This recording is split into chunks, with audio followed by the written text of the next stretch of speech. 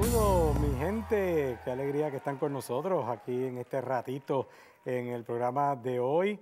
Estaba viendo ahí la, introducción y viendo esa foto de todos esos viajes que hemos hecho. La verdad es que, miren, yo creo que estamos ahí, ya estamos viendo, empezando a ver un poquito de luz al final del túnel con esto de los viajes. La, semana pasada, pues ya los que están en nuestra listado de correo ya les enviamos una información del estatus más o menos de cómo vamos, pero sí algo que quería decir, aparte que estamos deseosos por retomar estos viajes, pero oigan, muchos de los destinos que uno está mirando, para muchos de ellos están exigiendo que se esté completamente vacunado.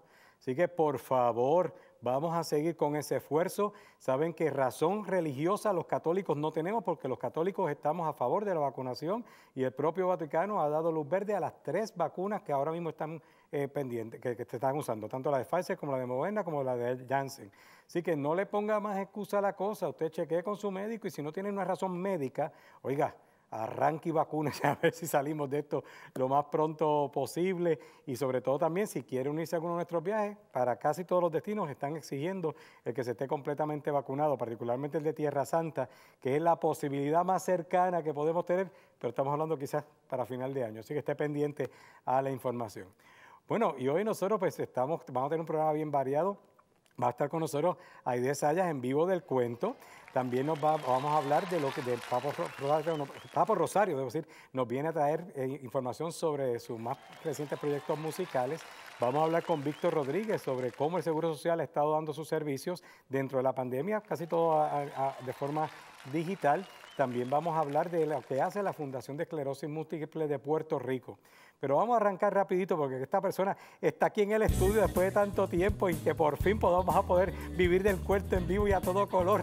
Aide, qué alegría que estés con nosotros. Súper contenta, guardando distancia, estoy vacunada, tengo mis dos vacunas. Igual nosotros acá también, así que... Sí, porque también queremos, este, no es solamente por uno, no por la salud, sino por el resto. Y como usted sabe, yo vivo del cuento y vivo inventando. Oye, pues yo me imagino que has tenido tiempo para inventar. Vivo del cuento continúa evolucionando y ahora Vivo del Cuento es una tienda, vivodelcuento.com. Y, y, en la tienda hay artículos que tienen que ver con ese juego de palabras que a mí me gusta, diseñé, ah, porque también estoy diseñando, padre, en un... En una libretita diseño y obviamente pues entonces un artista gráfico se encarga de hacerlo. Pero hay Dentro de todo lo que tiene disponible la tienda hay tres cosas que le quiero destacar, que, quiero compartir con usted. Y lo primero es que le traje este regalito que se lo voy a dejar aquí cuando se acerque. Café vivo del cuento. El grano, este cafetalera también. Grano de Puerto Rico, mire, con el sellito hecho en Puerto Rico, es granos de aquí. La compañía que lo envasa tiene todas las licencias sanitarias.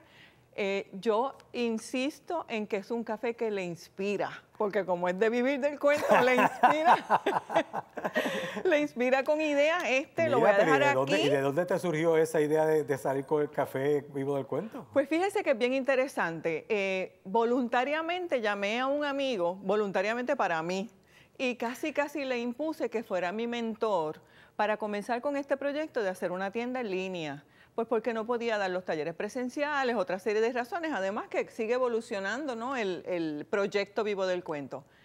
Y él fue el que me dijo, oye, yo tengo el contacto y un café vivo del cuento, porque es que esa marca, eso de vivo del cuento es tan bonito. Y yo, pues fantástico, a mí me encanta el café. Déjeme decirle que uno de los productos que mejor se ha vendido en la tienda hasta ahora es la taza que dice vivo del cuento y de café. ¡Ay, María! que la diseñé. Entonces, hay productos, todavía tiene, no tiene todas las cosas que quisiera porque toma tiempo diseñarlas, el diseñador gráfico, todo eso. Además que me metí a estudiar a esta tierna edad y estoy en los finales ahora, entonces ahora en estos días pues... Pero la verdad es que le ha sacado provecho a todo este tiempo. Mire, lo único que no le he sacado provecho es a los zapatos, porque he vivido la pandemia en tenis, pero todo lo demás no ha parado mi mente de, de bueno, buscar alternativas, entre otras cosas, para uno relajarse un poco, porque si, si nos ponemos este, a sentir el, encierro, e, es difícil. Y lo otro que yo he hecho, además de inventar café, de inventar la tienda, he escrito muchísimo. Cuando la gente habla o cuando yo digo escribir para sanar, no es que uno va a agarrar un papel y hablar de todo lo que le tortura. También es escribir cuentos, escribir novelas, inventar mundos. ¿Y, tú crees que, este tiempo de pandemia haya inspirado a que más gente estuviese dedicarse a leer un poquito más de lo que normalmente leían antes de la pandemia? Pues sabe qué, me atrevo a especular y a decirle que sí y le voy a dar un dato bien interesante y aquí voy a compartir con colegas que también son escritores ¿no? y que también están en la industria del libro. Hay unos chicos jóvenes que tienen una tienda en línea también que se llama Libro 787. En Navidades fue impresionante, ellos hicieron una venta de Navidad y con sus números de venta ellos confirmaron que definitivamente en Puerto Rico se lee yo no sé si también el hecho de la pandemia, pero se lee. Lo que pasa es que a veces creemos, pues claro, cuando imagínense, cuando es una tarea, pues es un poco más pesado porque no todas las tareas son de su agrado o de su interés ni del mío. Pero cuando es una novela juvenil, graciosa, chistosa. Escrita por Aide Saya. Escrita por Aide Saya. Cuéntanos de esa novela. Crónicas de Olga San. Olga San. Olga San. El primer juego de palabras. Eso nos da una pista de la personalidad de ese genio que era Olga San y no quería hacer nada. Ok. Él se va, los papás lo, instan, ¿no? A que se vaya a hacer aventura, a conocer mundos. él le encanta el asunto de dibujar mapas. Pues se va en un barco y ¿sabe cómo se llama el asistente? a mi plin. ¿Qué usted, puede esperar? Olga y, a, mi plin. Y sus aventuras los llevan al reino democrático al garete. Entonces, créame que usted... Mire, padre, yo he revisado esta novela antes de publicarla, usted no tiene idea, y siempre me río. Yo digo, si yo que la he leído ya a lo mejor 20 veces, todavía me río ustedes se van a entretener. Yo digo, es una novela y la parte de juvenil está en, signos de interrogación. Ah, sí, dice novela juvenil. Claro, porque tiene unos mensajitos ahí que esa mente adulta que sigue las noticias, pues puede captar, ¿no? Que fueron cosas que añadí al final porque yo la empecé a escribir hace como 10 años. Wow empezar a escribir, escribía otra cosa, la dejaba descansar, volvía, le añadía, la pulía. Eh, y me di cuenta de que todo eso que yo hago y todo lo que he ido descubriendo, lo voy a poner por aquella también, todo eso que he ido descubriendo ¿no? con los años de escritura, quise compartirlo. Y entonces, pues, yo con la maestra, ¿verdad? Yo rápido organizando las cosas, además de las tazas, además del café, además de los libros. En la tienda está el curso, el taller Te cuento un cuento. Y es un taller completamente en línea que las personas lo pueden tomar al ritmo que gusten y que aplica a diferentes cosas. Y me explico. A lo mejor usted es de las personas que siempre ha dicho, cuando me retire voy a escribir un libro y esas memorias siguen ahí flotando en el tiempo y no se acaban de comenzar a escribir. Pues ese taller va de lo general a lo específico para enseñarle a las personas a escribir más con menos palabras. Y a veces yo digo eso, escribir más con menos y la gente como que, ¿qué quiere decir eso? Que en vez de dar muchas explicaciones, si usted busca las palabras adecuadas, logra expresar la idea con menos palabras. Y eso yo creo que hace, hace falta, a veces se le da tanta vuelta a la misma cosa. Y bueno, hay una realidad, nuestro español es, hermoso porque tiene una cantidad de vocabulario espectacular, pero a veces no necesariamente hay que usar todo el vocabulario en español para expresarse. ¿no? Eh, Exactamente. oye, Aide, está, antes de pasar, porque hay algo, ¿me pueden enfocar un poco la, la, la carátula un momentito ahí? Porque hay algo que le quiero preguntar a Aide, porque ella, más arriba, no, arriba, arriba. Ahí. Ah, aquí está. ¿Por qué la O con diéresis? Por hacerle exótico el nombre, por hacerlo divertido. Ah, porque yo decía, bueno, una escritora que sabe de español, yo, pero la O con diéresis, ¿por qué? Ah, exótico, totalmente exótico. Hay palabras inventadas, yo invento frutas, invento, eh, es un país, es un lugar de donde él viene, donde la lluvia es dulce. Ok. No, créanme que se va a entretener, es, bien entretenida, es excelente para llevar a las citas médicas, es excelente como lectura de verano. Cuando comencemos a viajar, es excelente para llevar en el avión y leerla al llegar a destino. Eh, es, bien entretenida y es una, de manera, está escrita de forma ligera, o sea que eh, se van a entretener. Hay mapas, hay ilustraciones. Las ilustraciones están hechas por Aida Guzmán Estavillo. No sé si pueden, si podemos captar aquí un momentito, siempre lo vieron. Miren qué belleza de ilustraciones. Porque él, después que se va en sus aventuras, le enviaba mensajes a los padres en botella. Cómo las botellas llegaban siempre al mismo lugar y le llegaban a los padres. Pero hay muchas cosas cómicas en la, en la, en la novela. Bueno, pero la verdad es que, eh, como que primero, que qué bueno que esa creatividad ha estado ahí, que, que ha estado a, flor de pie y pues reinventándote de alguna manera también. Exactamente, exactamente. Pues ya la, ya la página, la tienda en línea ya está. Ya está. Vivodelcuento.com. Ahí encuentran mis libros. Eh, van a, va a salir dos libros infantiles pronto uno de ellos, uno de los sueños y las metas que tenía, mire qué belleza, esa era yo de chiquita. Oye, pero te has quedado más o menos con el mismo look de, el pelo. El mismo corte de cabello, padre. Eso es lo único que no ha cambiado con el tiempo. Pero ahí está la taza, hay algunos afiches, eso que se ve así muy colorido. Son afiches de una serie de afiches de un perrito y sus amigos como para decorar cuartos. O sea que hay hay variedad, hay variedad de productos en la tienda y están los libros y saldrán también unos infantiles pronto. Eh, aparte del, taller que ya tienes publicado en la, en la tienda, eh, ¿algún taller virtual que, que estén ofreciendo o está disponible, disponible para dar esos talleres? Estoy disponible para dar talleres. Eh, si usted es escuela, si usted es alguna organización sin fines de lucro, hay fondos en la Fundación Puertorriqueña para las Humanidades. Yo pertenezco al catálogo de humanistas eh, se pueden comunicar con ellos y a través de la fundación llegan a mí.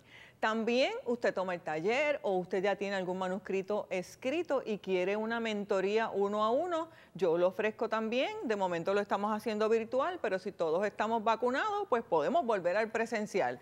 Y le guío en el manuscrito que usted tenga eh, de acuerdo a lo que necesite. Así que, mire, otra razón más para acabarse de vacunar, bendito sea Dios. Oye, de verdad que ha sido un gusto, qué bueno que hayamos podido por lo menos eh, hacer esta entrevista aquí presencial en, mi gente y mucho éxito y a seguir adelante ahora hasta, hasta, hasta Café Cultor, bueno, promotora de, del café. de Puerto Rico. Qué bueno. Gracias. Café vivo del cuento. Pues un abrazo. Entonces nosotros vamos a hacer la pausa y volvemos con más de mi gente. No se vayan.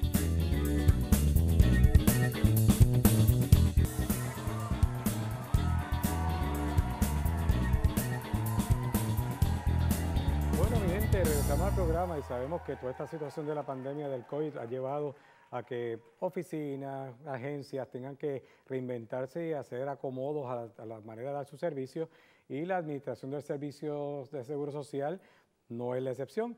Y para hablarnos un poco de lo, cómo, han tenido, ido dando ese servicio durante este tiempo, tenemos con nosotros mediante videollamada a Víctor Rodríguez, portavoz de Seguro Social aquí en Puerto Rico. Así que, Víctor, qué bueno verte. Saludos, Padre Milton, tanto tiempo. Claro que sí, qué alegría que estés con nosotros y aquí dentro de todo esto, pues viendo ver cómo es que el Seguro Social ha tenido que adaptarse dentro de toda esta situación de la pandemia para seguir dando los servicios que lo siguen requiriendo. Sí, mira, desde marzo pasado, pues las oficinas de Seguro Social pues no están recibiendo visitantes, excepto para ciertas situaciones de emergencia que hayan sido previamente coordinadas con nosotros. Eso es para proteger al público en general. Como sabes que la, aunque nosotros atendemos a toda la población, generalmente la mayoría de ellos son personas vulnerables, personas de la tercera edad o personas con condiciones incapacitantes. Y entonces, para protegerlos a ellos y tanto a los empleados, pues estamos trabajando los empleados todos de manera remota, desde los hogares, brindando el servicio a la comunidad. Sabes que lo hemos explicado en el programa, que tenemos nuestro servicio en la página de internet en la página de segurosocial.gov, donde exhortamos a las personas a abrir su cuenta personal My Social Security para monitorear su récord de ganancias, eh, eh, obtener estimado de sus futuros beneficios y así como eh, hacer otras transacciones. Pero las personas que no tienen acceso al Internet y necesitan comunicarse con nosotros, tenemos nuestro centro de teleservicio, el 1-800-772-1213 eh, pero sin embargo, como las oficinas tanto en Estados Unidos como Puerto Rico no están recibiendo visitantes, como dije anteriormente, excepto para ciertas situaciones limitadas o de emergencia que hayan sido previamente coordinadas, el tiempo de espera en el 1800 es mucho mayor. Por lo tanto, como están viendo en pantalla, les voy a explicar cómo usted puede acceder a nuestra página de internet y conseguir el número directo de la Oficina del Seguro Social que le brinda servicio a su comunidad, al área que usted vive. Están los empleados trabajando atendiendo llamadas de lunes a viernes de 9 de la mañana a 4 de la tarde. eh, y están atendiendo de sus hogares. Y entonces, para usted conseguir el número telefónico de su oficina local del Seguro Social, puede buscar en nuestra página de segurosocial.gov. Hay una sección que dice comuníquese, le hace clic y al llegar ahí va a encontrar el localizador de oficinas donde le va a permitir, luego que acceda ahí, entre el código postal y entonces si usted vive en Ponce, le va a dar el área de Ponce, el teléfono de la oficina de Ponce, si es el área de Mayagüez, si es el área de Guayama o Carolina, y así se canaliza la llamada y lo atienden más rápido. Eh, las llamadas, todos los servicios están dando por teléfono, como dije anteriormente, y generalmente lo que sucede es, lo orientamos, si hay que coordinar una cita con usted, pues se le coordina una cita día y hora que lo van a llamar a su hogar para que se le llene la solicitud de beneficio o del trámite que quiera hacer. Hay situaciones en las que tenemos espacio en el momento y lo podemos atender y llenar toda su solicitud en ese momento.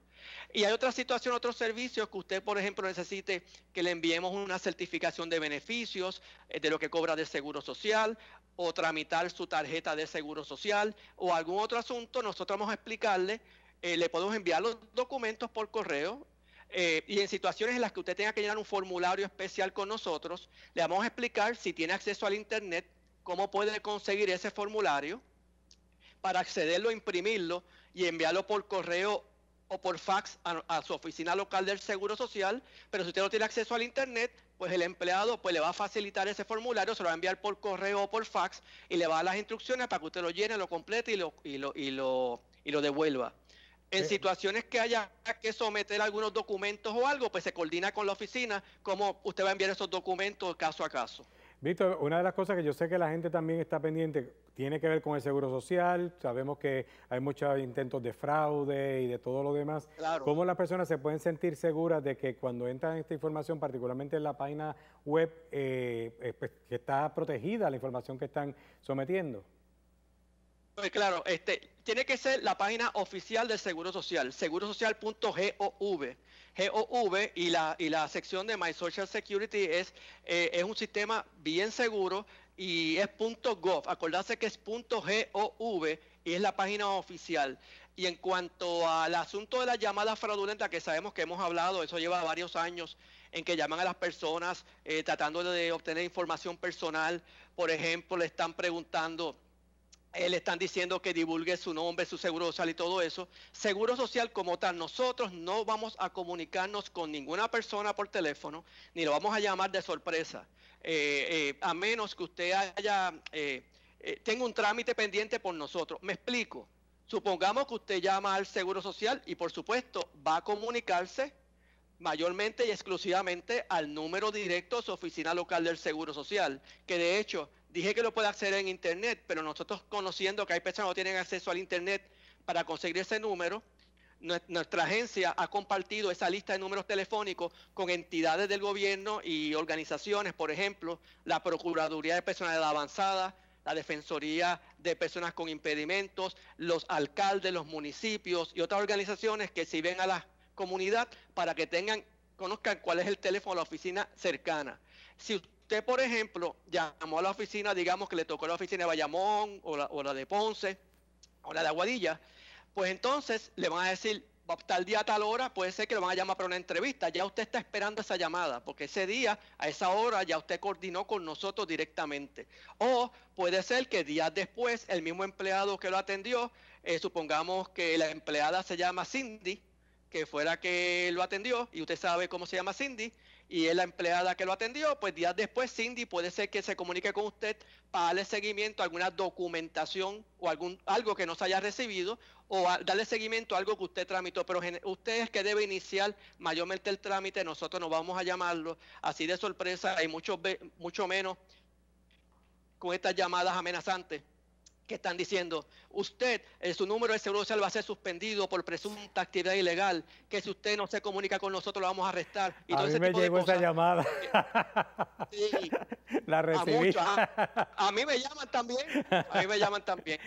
Bueno. Pero nada, y, y, y, y mira lo interesante, Padre Milton, la llamada casi siempre dice usted, tú, ¿y quién es tú? ¿Quién es usted? Que me llamó al teléfono, ¿sabe quién soy yo?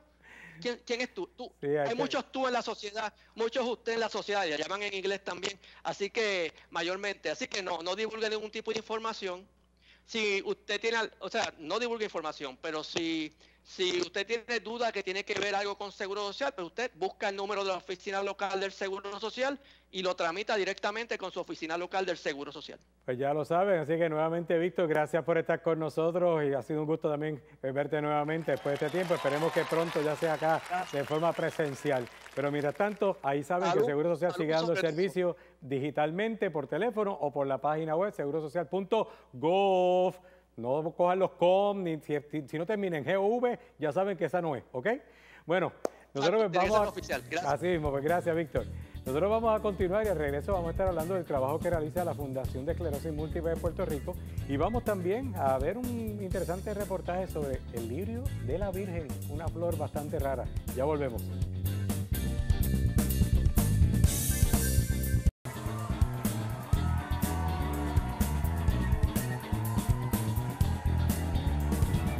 Regresamos al programa y nos conectamos mediante videollamada con Joanny Santiago, que es coordinadora de servicio al paciente de la Fundación de Esclerosis Múltiple de Puerto Rico. Así que le damos la bienvenida a Joanny. Saludos.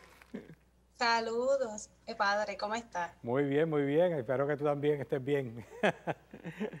Oye, vamos a hablar primero un poco, eh, que nuestra gente conozca lo que, lo que hace la Fundación de Esclerosis Múltiple de Puerto Rico. Pues la Fundación de Esclerosis Múltiple de Puerto Rico es una entidad sin fines de lucro que lleva 21 años y nuestra misión y filosofía está en la coordinación de esfuerzos para mejorar la calidad de vida de pacientes con esclerosis múltiple. Y eh, cuando hablamos de esclerosis múltiple, eh, ¿de qué condición estamos hablando? ¿Cuáles son esas condiciones que, se, que se trabajan?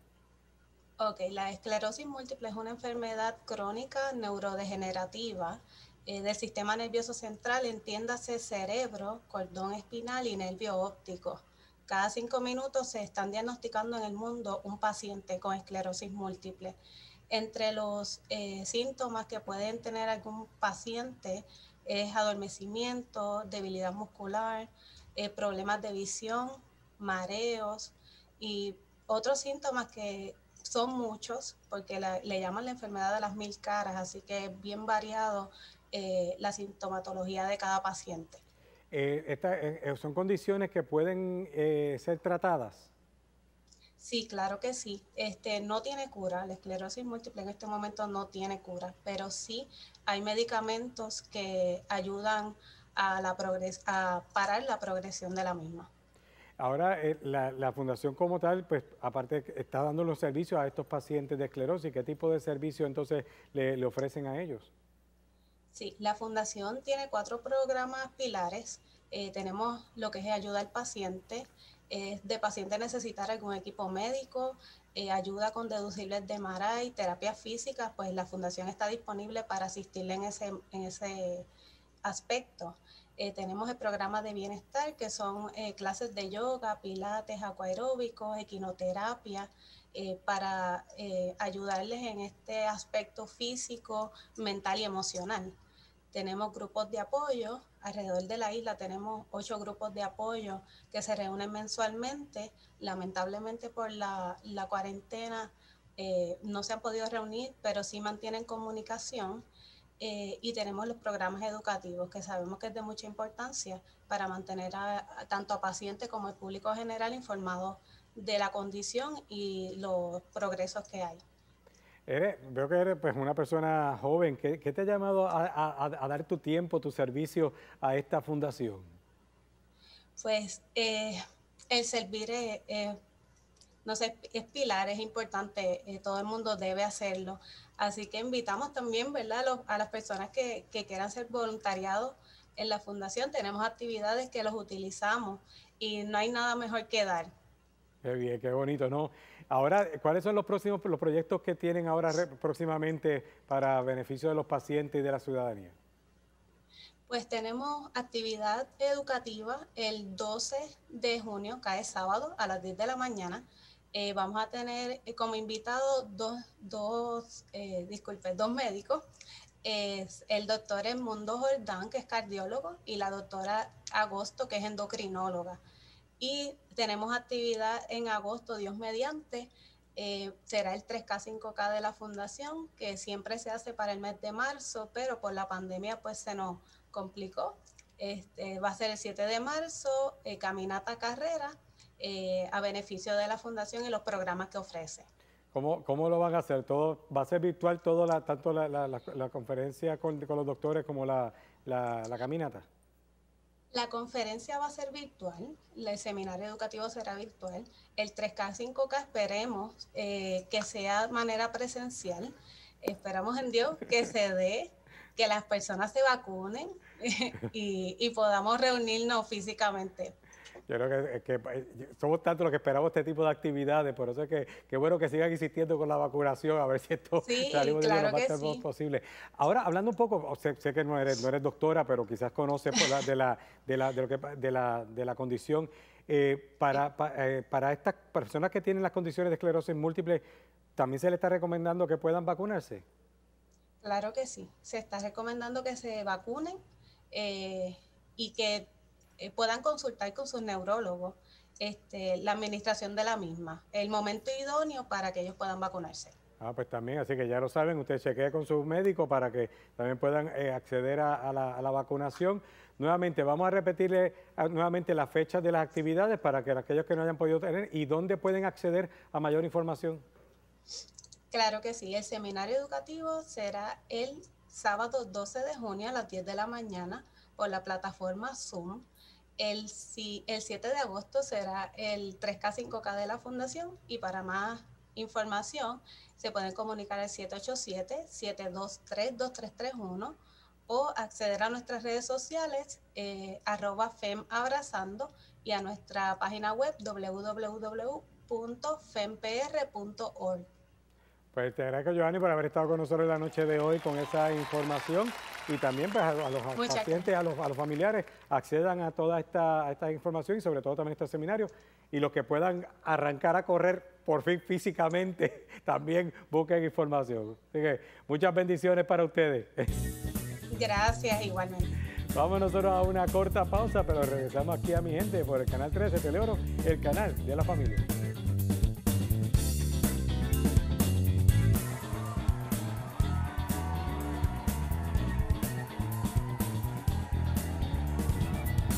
Bueno, mi gente, hoy nuestro programa se engalana porque tenemos aquí un gran exponente de nuestra, música y es que está con nosotros Papo Rosario, que viene hablando de su más reciente obra musical y también de todas esas cosas que han estado pasando y lo agradecido que está Dios. Así que, Papo, qué alegría tenerlo en el programa en la noche de hoy.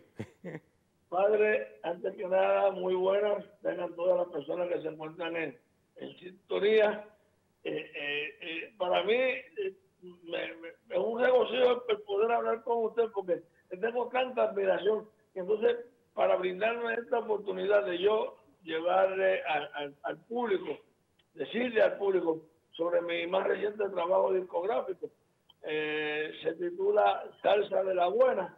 Está hecha con mucho amor, está hecha pues con la salsa tradicional eh, en, busca de, que esa salsa pues, continúe nuestro, eh, eh, nuestro ritmo, nuestra música y contribuir con mi legado de esa manera. Ya pues estuve mucho tiempo con el Gran Combo de Puerto Rico, pero entonces ahora le toca a Papo Rosario.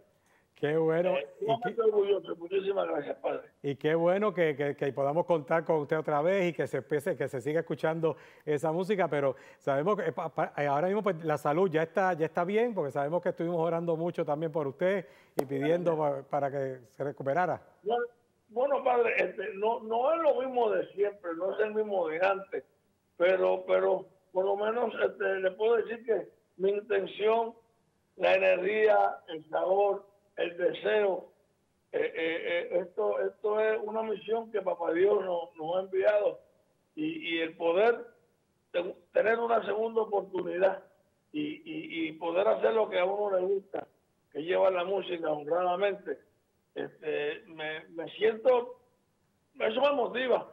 Y, y como usted dijo, las oraciones son las que me tienen de pie, pues mi, mi convalecencia pues no se sabía si caminaba, cómo era que iba a caminar. Tuve siempre ese deseo de, seguir hacia adelante porque soy guerrero. Y, pedí mucho a Papá Dios. Y Papá Dios, una vez más, me concede, entonces en esta ocasión, una segunda oportunidad. Me siento muy bien, he continuado mi, mi terapia, he continuado. Ahora no, porque eh, sabe que con la cuestión del aislamiento este social, pues estamos, me, estaba metido en el gimnasio.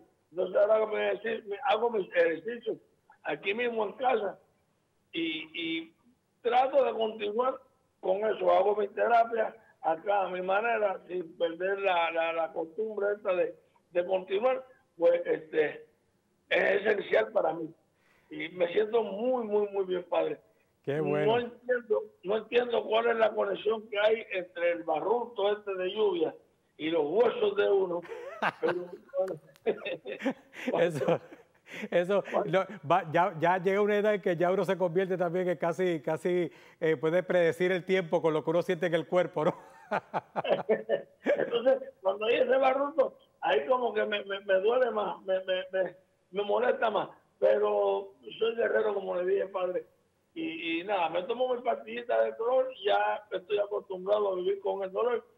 Y yo sé que esta otra terapia, volver a mi terapia natural, que es llevarle alegría a los pueblos, pues, cumpliendo con una misión que me, eh, eh, que me puso Papá Dios sobre mis hombros. Eso, eso va a ser mi mejor terapia. Estar en el tarima y ver a mi público, eso, eso, eso me llena sobremanera. Y cuéntanos entonces de ese, de ese, de ese tema, o sea, quieres traer nuevamente, volver otra vez a esa, esa salsa que, que, nos ha mantenido siempre eh, con, con, esa historia y, y, esa, pues esa música por dentro, como decía nuestro maestro Pijuán aquí, en paz descanse, ¿verdad? Que, que siempre este, que sana y que libera, porque eh, basta por ese escuchar esa primera nota y ya empezar a, a menear el cuerpo. Sí, eh, eh esto, yo diría que es como una magia porque yo, yo recuerdo que había veces nosotros estábamos cansados, extenuados, eh, eh, y, vamos para otro baile. Y entonces nos montábamos en una guagua, estábamos cinco horas, dos, tres horas, una hora, hora y media, lo que fuera el tiempo. Y, y, y, era para la tercera, la, tercera ocasión que tocábamos en esa misma noche. Íbamos muertos. Y una vez que nos preparábamos a la tarima, una magia, marcaban, Rafael marcaba cuatro y se acabó el dolor, se acabó el cansancio, se acabó todo. Calienta el cuerpo otra vez y vamos. Es bendición de Dios. Bendito sea, sí, ese talento dado. Y ahora cuéntanos cómo se llama el tema que están ahora promoviendo. El, tema que estamos promoviendo ahora eh, eh, se llama Salsa de la Buena. Comenzamos pues, con, con, con y Juan y yo, pues estudiamos juntos eh, en la Escuela Superior Centro de, de la Parada 20. Y entonces, pues nos cogió por un lado, yo cogí por otro. Después nos, hemos encontrado, gracias a Dios, y, decidimos pues trabajar juntos. El primer corte fue gracias, yo dándole gracias a Papá Dios, dándole gracias a todos ustedes por tantas bendiciones. La, razón por la cual estoy aquí de pie, e, invitándolos a que ante la adversidad hay que seguir hacia adelante. Después hicimos así en la tierra donde nací y ahora este número, este tercer corte, que es dentro del ciclo que eh, eh, teníamos pautado, cierra este ciclo para entonces ahora terminar la producción con el favor de Dios y lanzarlo, esperemos, esperemos que para julio, no, no tengo una fecha exacta, pero esperemos que, que, podamos ya salir, sacar el, el trabajo discográfico completo decidimos hacer un, un, video eh, eh, eh, en este número, porque era el, número que más, que más se, identificaba, que más pedía ese video, pues salsa de la buena. Y lo que pasa es que yo tengo para salsa de la buena, y entonces el tema es un estribillo que fácilmente se, se pega. Decidimos con este número hacerlo y, y nos ha dado resultados este, entonces estamos en la promoción, todo el mundo, eh, eh, las críticas pues son favorables, son en, favor. Eh, así que Dios dirá, y el público que es el soberano, ellos son los que te quitan y los que te ponen con la bendición de Dios. Y a la verdad es que en el caso, en el caso de ustedes, pues también lanzarse a hacer algo así como, como en, en, tiempo de pandemia, pues también eso tiene sus dificultades. Sin embargo, ahí estamos viendo algunos de esos visuales y está, oye, e, e, esos colores espectaculares, qué lindo. ¿Dónde grabaron, Papo? Perdón, eso lo hicimos en la hacienda La Colina, esto queda en Maguayo, en Dorado. Entonces, el primo mío es el, el, el, administrador del mismo, y entonces pues él me prestó las facilidades. Y entonces pues ahí hicimos, buscamos el, el, corillo de, de baile de, de, José Reyes Essence Dancers y, y el, primo, el otro primo mío que se la dio de sonidista, Punco. Eh, eh, entonces, esto es un trabajo en grupo, esto es un trabajo en, Oye, qué bueno, y, ahí está, y se nota que le están pasando de maravilla, así que así, así será la gente cuando vea el video, cuando escuche el tema. Eh, Papo, ¿dónde las personas ya pueden acceder al tema o, al video? Sí, sí, pueden acceder a paporosario.com o paporosariopr, que está en Instagram, pero en todas las plataformas se encuentra el video y se encuentra también el, numerito. Excelente. Bueno, gente, hay que mover el esqueleto, aunque sea en el balcón de la casa, pero hay que, hay que celebrar poco a poco en lo que, en lo que, en lo que podemos hacerlo ya más, más, socialmente. Papo, la verdad es que una alegría haberte tenido en el programa, muchas bendiciones, mucha salud, sigue con esas terapias. Y bueno, ahí vimos que el baile, el baile se, se, lo da un buen meneíto, así que parece que va bien la cosa.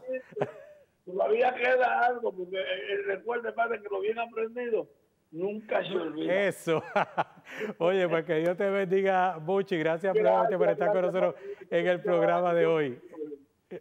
Hasta la próxima. Aquí para servirle siempre. Igual Bueno, mi gente, y ahora vamos a, ver unos videos que nos envía nuestro hermano del Christian Media Center. Vamos a hablar primero de uno bien interesante, y se llama el lirio de la Virgen, porque es como una flor un poco extraña, pero vamos a ver por qué.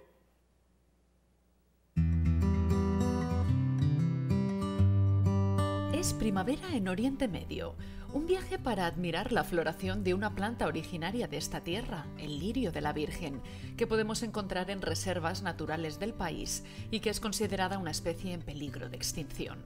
La encontramos especialmente en Beersheba, que en la Biblia es la ciudad en la que vivió el patriarca Abraham. Los lirios son flores de tallo largo que miden desde 90 centímetros hasta un metro y medio y son muy fragantes. This plant is called Madonna lily. Esta planta se llama lirio de la Virgen, Lilium candidum en latín, y es originaria de Israel, de la parte norte de Israel, Líbano, Siria y Turquía. Lebanon, Siria y Turquía. El laboratorio realiza investigaciones sobre la floración del lirio y la continuación de la especie. So we collected from the wild with authorization and we brought it con las necesarias autorizaciones recogimos algunas semillas y bulbos de la naturaleza. Las trajimos aquí y las plantamos en mi laboratorio en la Universidad Ben Gurion. Y con este material empezamos a investigar. Uno de los principales proyectos será hacerlo florecer en torno a la fiesta de la Anunciación y en Pascua. Naturalmente el lirio florece en su medio natural a finales de abril o en mayo y aquí florece más rápido porque nos encontramos en el sur y hace más calor. Según la investigadora, el lirio ha sido adoptado como símbolo en muchas culturas.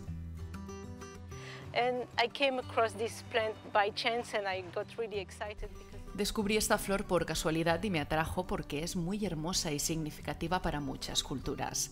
Ha sido el símbolo del pueblo hebreo, se encuentra en citas bíblicas y encontramos el tema del lirio también en importantes lugares de Israel como el templo en la menorá. Tras la destrucción del segundo templo se hizo importante para los cristianos y tiene este vínculo con María. La planta es conocida como lirio de la Virgen por su asociación a María, probablemente por su pureza. Se puede ver cómo es blanca y pura.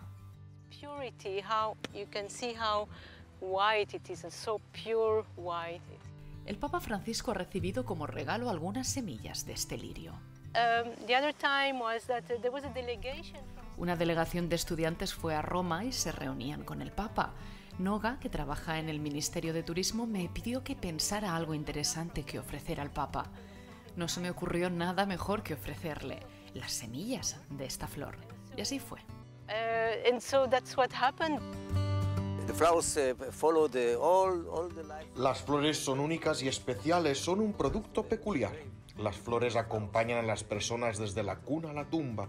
La gente usa las flores para manifestar emociones. Nos encanta trabajar con flores y es también nuestra actividad comercial.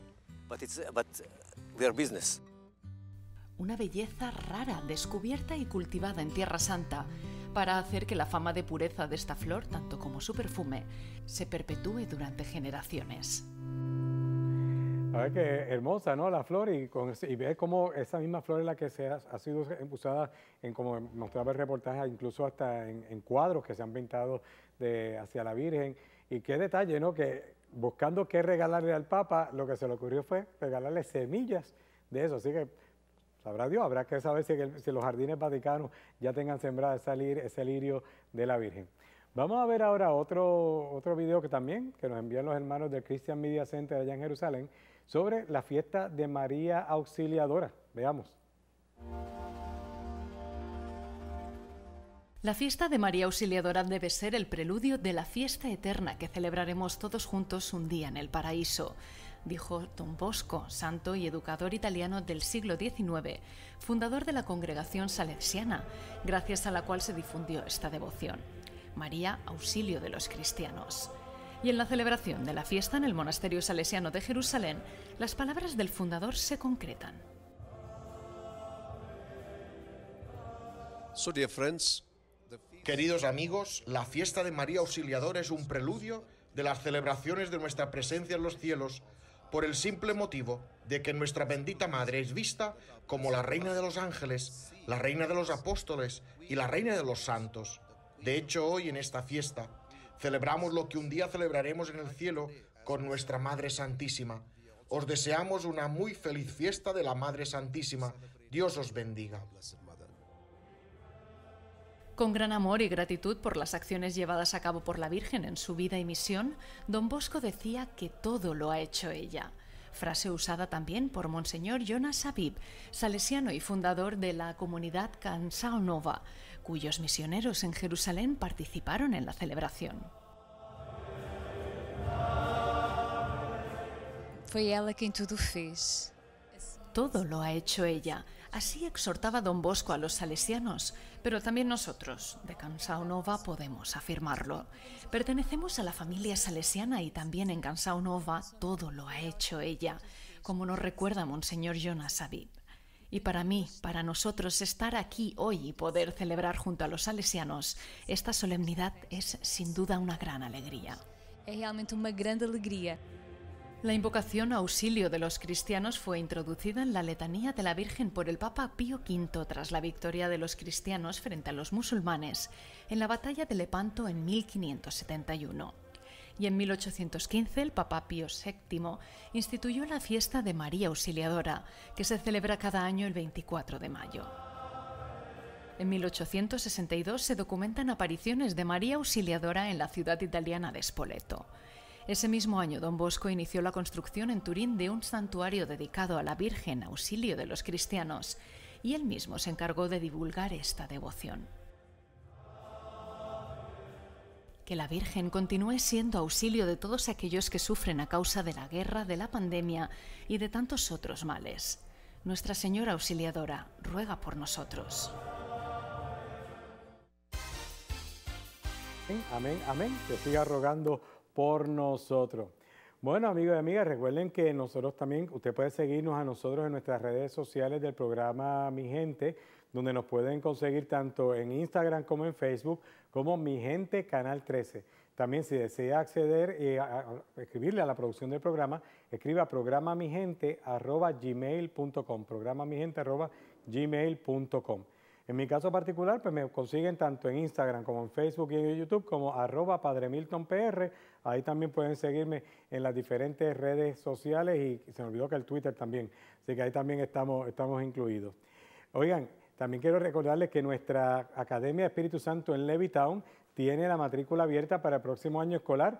Estamos preparándonos para irnos presencialmente, si todo sigue como va, pero aún si tuviésemos que quedarnos híbridos, tuviésemos que irnos, mantenernos virtual, estamos preparados. Tenemos programas desde prekinder hasta el, grado 12, horario extendido, tenemos programas donde enfatizamos el inglés como segundo idioma, estamos integrando las bellas artes dentro del currículo porque hemos notado que hay un talento grandísimo en nuestros estudiantes, pues estamos integrando en el currículo también las bellas artes, así que les exhortamos que llamen al 787-784-0905, 787-784-0905 para mayor información. Y recuerden, miren, el, canal de YouTube de nuestro canal 13, síganse suscribiendo, que ha sido todo un éxito. Usted cuando busque este Oro Canal 13 en YouTube, busca la parte que dice suscribirse, se suscribe, le da la campanita esa que está ahí, le dice todas, para que cada vez que sube algo nuevo le llegue una notificación y usted pueda disfrutar de toda la programación que se va subiendo a nuestro canal de YouTube de Teleoro Canal 13. Y le imparto la bendición para el programa de hoy. Que el Señor les bendiga y les guarde, haga brillar su sobre ustedes y les conceda su favor. Vuelva su mirada a ustedes y les conceda la paz. Y la bendición de Dios Todopoderoso, del Padre, del Hijo y del Espíritu Santo, descienda sobre ustedes y permanezca para siempre. Amén. Hasta el próximo programa.